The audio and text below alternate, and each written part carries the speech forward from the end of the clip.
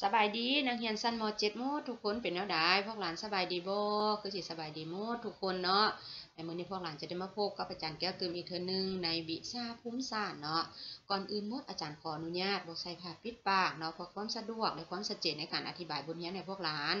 และอาจารย์อัดคลิปนี้ก็เป็นอัดอยู่หันอาจารย์เอง ซึ่งควรมีความปลอดภัยสูงเนาะเพราะว่าอาจารย์บ่ได้ออกไปข้างนอกเนาะก่อนเฮาสิมาเข้าบทเรียนใหม่นี้อาจารย์ขอทวนขึ้นบทเรียนเก่าก่อนเนาะว่านักเรียนเฮาส่วนหลายกรรมบทเรียนได้โบเนาะแต่ว่าอาจารย์ก็ขอย่องยอชมเชยนักเรียนเฮาผู้ที่กรรมบทเรียนได้ตั้งใจเขาในการทำเรียนเนาะพวกหลานเนาะ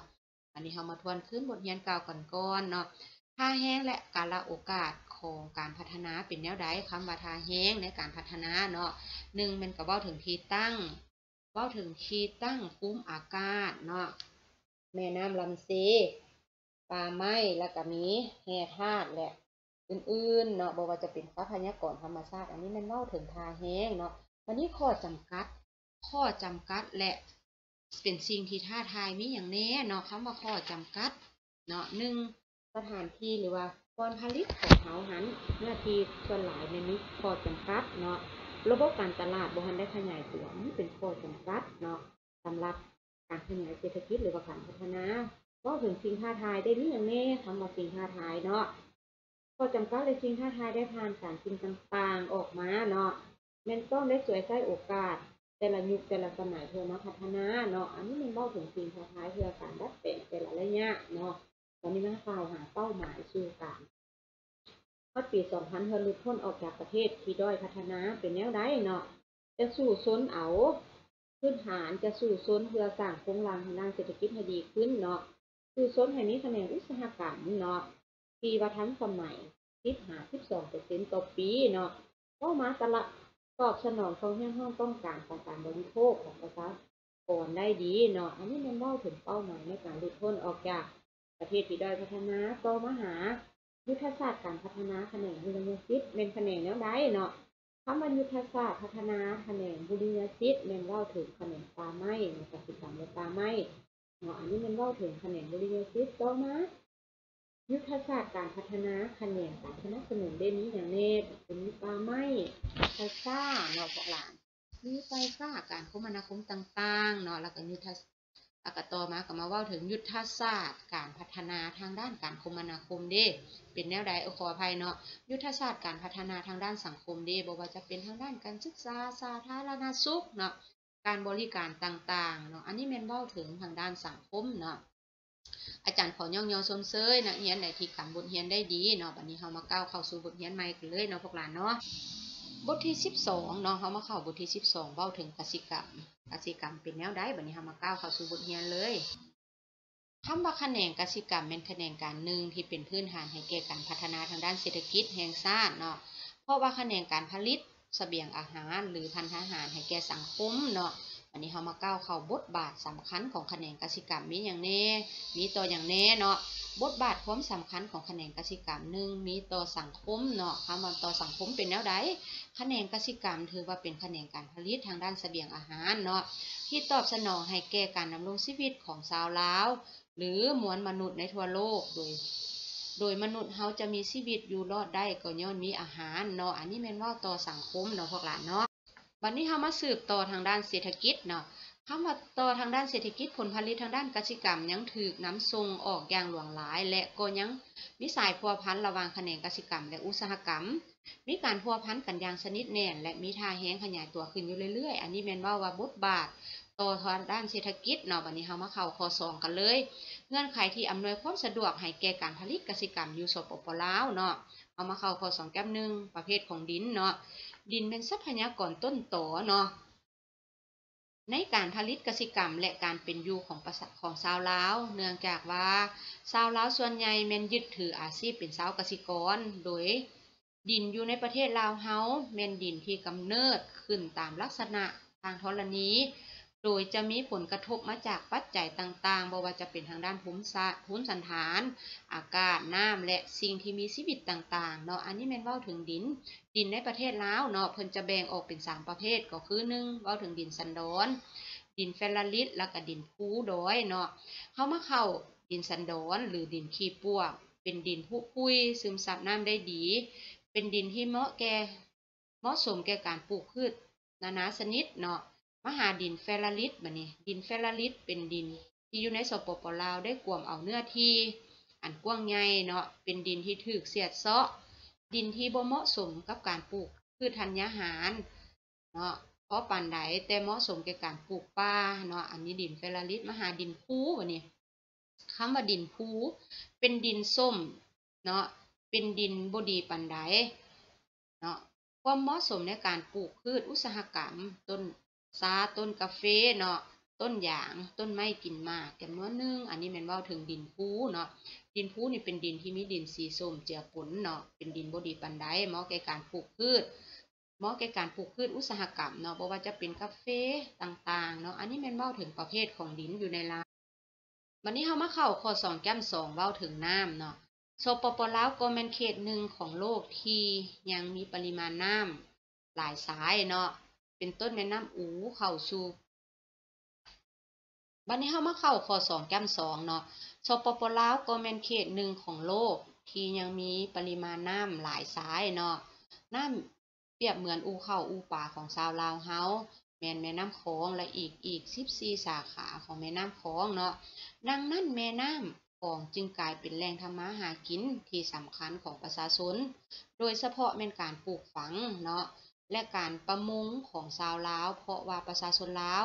ที่อาศัยอยู่เรียบตามแม่น้ำโขงกวามเอา 66.6%นอกจากนี้ประชาชนลาวก็ยังอาศัยหนองบึงต่างๆ เป็นบ่อนทำมาหากินอันนี้ เป็นลักษณะรูปลักษณะของแม่น้ำโขงเนาะและอันนี้ก็เปรียบเหมือน14 สาขาของแม่น้ำโขงพวกหลานบัดนี้เฮามาเข้าข้อ2แก้ม3นะภูมิอากาศ ประเทศลาวแมนประเทศหนึ่งที่นอนอยู่ในทวีปอาซีเนาะและก็เป็นประเทศหนึ่งที่ได้รับปริมาณแสงแดดหลายพอสมควร ประเทศลาวแมนได้รับอิทธิพลจากสองมวลอากาศเนาะเป็นสาเหตุเฮ็ดให้เกิดมีลมที่พัดมาจากสองทิศที่ต่างกันเนาะซึ่งเอิ้นว่าลมประจำฤดูฉะนั้นประเทศลาวแมนประเทศหนึ่งที่มีอุณหภูมิค่อนข้างสูง โดยเฉลี่ยแล้วแมนอยู่ในระหว่าง25หา26องศาเซเนาะ ภูมิอากาศของลาวเฮามีความเหมาะสมต่อการผลิตทางด้านกสิกรรมหลายประเภท หลายชนิดที่แตกต่างกันในแต่ละท้องถิ่นเนาะ อันนี้แมนว้าถึงอยู่ในเขตภาคใต้ของลาวเฮาเนาะเหมาะแก่การปลูกกาชากาแฟเนาะ อันนี้พวกหลานบัดนี้เฮามาเข้าข้อ3เนาะ ข้อ3เว้าถึงความอาจสามารถในการแบ่งเขตกสิกรรมของสปปลาวเนาะอิงใส่จุดพิเศษทางด้านธรรมชาติและมูลเชื่อในการผลิต ของลาวเฮาสามารถแบ่งเขตกสิกรรมออกเป็น 3 เขต คือ เขตทงเพียงรองตามแม่น้ำคองเนาะ เขตภูสูงและภูเพียงทางภาคเหนือ เขตสายภูและภูเพียงทางภาคกลางและภาคใต้ อันนี้เป็นความอาจสามารถของการแบ่งเขตกสิกรรม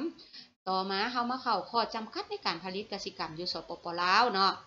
เคียงคู่กับสิ่งอำนวยความสะดวกและความอาจสามารถต่างๆ นั้น ยังมีข้อจำกัดหลายด้านต่อกับการผลิตกสิกรรมอยู่ประเทศลาวเฮามีคือ ข้อจำกัดทางด้านธรรมชาติบางปีมีฝนตกหลายเนาะบางปีมีฝนตกน้อย มีภัยน้ำท่วม บางปีเกิดภัยแห้งแล้งเนาะข้อจำกัดด้านสังคมกำลังการผลิตส่วนใหญ่ยังหนุ่มน้อยเนาะขาดเทคนิควิชาการรูปแบบการผลิตยังบ่ทันสมัยจำกัดทางด้านเศรษฐกิจทุนมีจำกัดการผลิตส่วนใหญ่แม่นอิงใส่เพื่อกุ้มตนเองอิงใส่ทางด้านธรรมชาติเป็นจุดนักเนาะอันนี้แมนเว้าข้อจำกัดในการผลิตกสิกรรม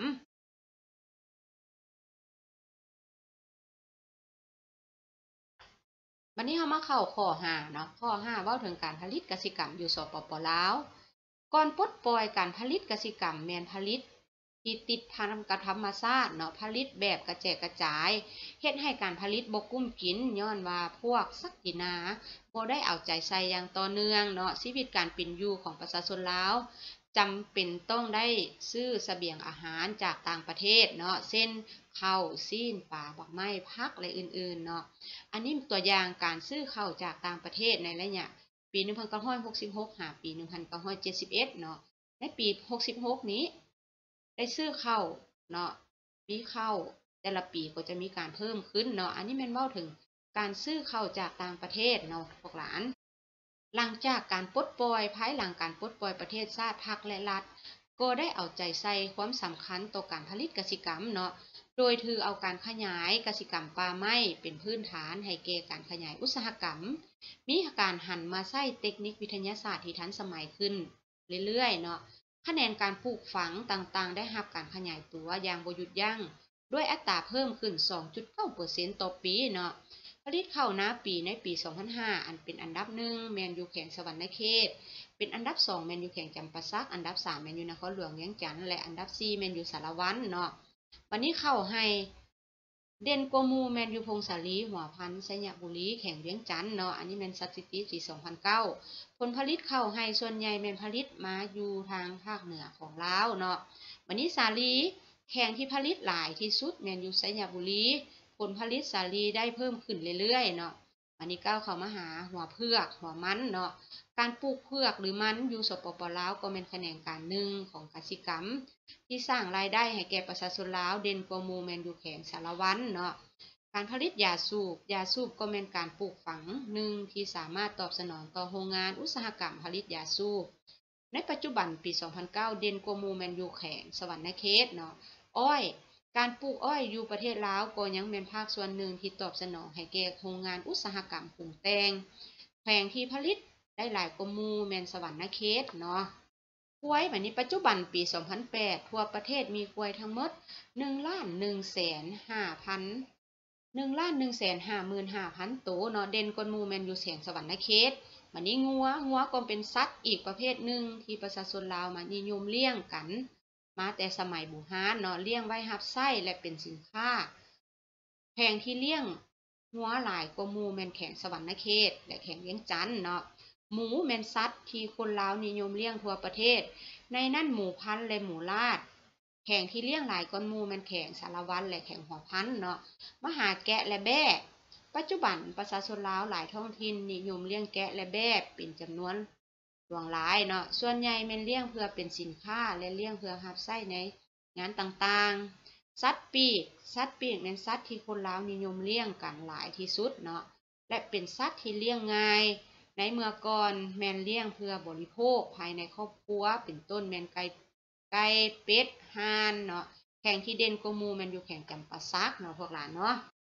อันนี้แมนเว้าถึงแขนงกสิกรรมของลาวเฮาเนาะ วันนี้สำหรับการอธิบายบทเรียนของอาจารย์ในบทนี้ก็แม่นได้สิ้นสุดลงเพียงเท่านี้เนาะอาจารย์ขออธิบายคร่าวๆไว้เพียงนี้ก่อนถ้าว่าจุดใดบอนใดที่พวกหลานบ่เข้าใจเนาะเฮายังจะมาสืบต่อในการเปิดห้องสอนโกโกมิตืม